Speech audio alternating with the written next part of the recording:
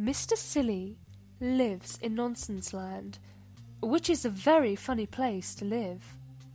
You see, in Nonsense Land, everything is as silly as can be. In Nonsense Land, the trees are red, and the grass is blue. Isn't that silly? In Nonsense Land, dogs wear hats.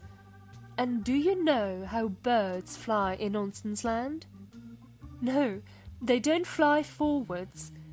They fly backwards. It really is a very silly place indeed, which of course is why Mr. Silly lives there.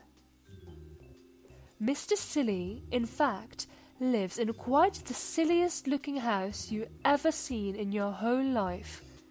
Have you ever seen a sillier looking house than that? Now, this particular story is all about the Nonsense Cup. You see, in Nonsense Land, each year they hold a competition, and the cup is awarded to whoever has the silliest idea of the year. Mr. Silly had never won the cup, but each night, lying in his bed, he dreamed about winning it. In order to win the Nonsense Cup, Mr. Silly realized that he would have to think up something remarkably silly. He pondered over the problem one morning at breakfast. Incidentally, you may be interested to know what Mr. Silly was having for breakfast. He was having a cup of coffee, which he put a spoonful of marmalade into. After that, he had a cornflake sandwich. And to finish, he had a boiled egg but being Mr. Silly, he ate the shell as well. Isn't that a silly breakfast? Anyway, this particular breakfast time, Mr. Silly was thinking how to win that cup. He remembered two years ago the cup was won by Mr. Ridiculous. He won by wallpapering his house, which sounds very ordinary, but in fact Mr. Ridiculous had wallpapered the outside of his house. And Mr. Silly remembered that last year when Mr. Foolish won the cup, Mr. Foolish, who was a friend of Mr. Silly's, had won the cup by inventing a car. It was quite a normal car, apart from one thing. It had square wheels. Isn't that silly? Mr. Silly thought and thought and thought, but it was no good. He even had another cup of coffee with marmalade, but that didn't help either. So he decided to take a walk.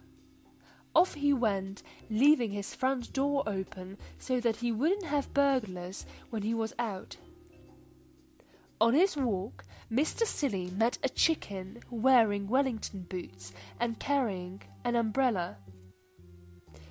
Wouldn't it be silly if you didn't wear Wellington boots and carry an umbrella? he said to the chicken. Meow, said the chicken, because animals in Nonsense Land don't make the same noises as they do in your country. On his way, Mr. Silly met a worm wearing a top hat, monocle, and an old school tie. Wouldn't it be silly if you didn't wear a top hat, a monocle, and an old school tie? he said to the worm. Quack, quack, said the worm. On his walk, Mr. Silly met a pig wearing sunglasses and a smoking cigar. Wouldn't it be silly if you didn't wear sunglasses and smoke a cigar? he said to the pig. Moo, said the pig. It was in the middle of Mr. Silly's walk that he had his idea. It was a beautifully silly idea, quite the silliest idea he'd ever had. He hurried into town and bought himself a pot of paint and a paintbrush. The day of the great awarding of the Nonsense Cup arrived. A huge crowd assembled in the city square to see who was going to win the cup. The King of Nonsense Land mounted the specially built platform. Ladies and gentlemen, he said to the crowd in the city square, it is my pleasure today to award the Nonsense Cup to whoever has had the silliest idea of the year. One of the silliest ideas of the year, continued the king, is by Mr. Muddle, the farmer. He has managed to grow, of all things, a square apple.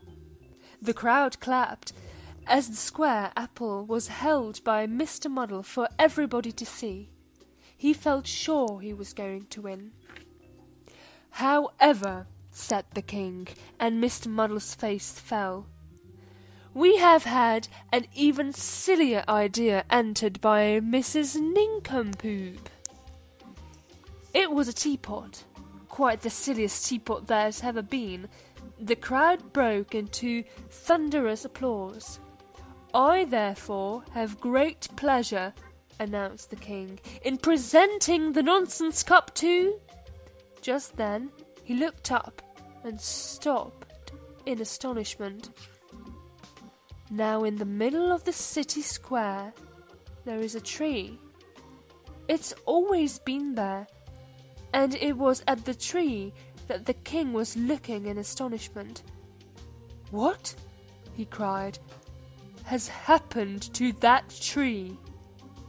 Everybody turned to look. The tree had green leaves, bright green leaves. Not red leaves like all the trees in Nonsense Land, but green. There was an amazed silence. It was me! pipped up Mr. Silly. I painted all the leaves green last night when you were all asleep. A green tree? exclaimed the king. Who ever heard of a green tree? A green tree? shouted the crowd. How silly! And they started to applaud. Mr. Silly smiled modestly. The king held up his hands. I think, he said, that this is the silliest idea I have ever, ever, ever, ever heard of, and therefore I award the Nonsense Cup to Mr. Silly. The crowd cheered and cheered. Mr. Silly went pink with pride. And a bird perched high up in the branches of the silly green tree looked down. Woof! it said, and flew off backwards.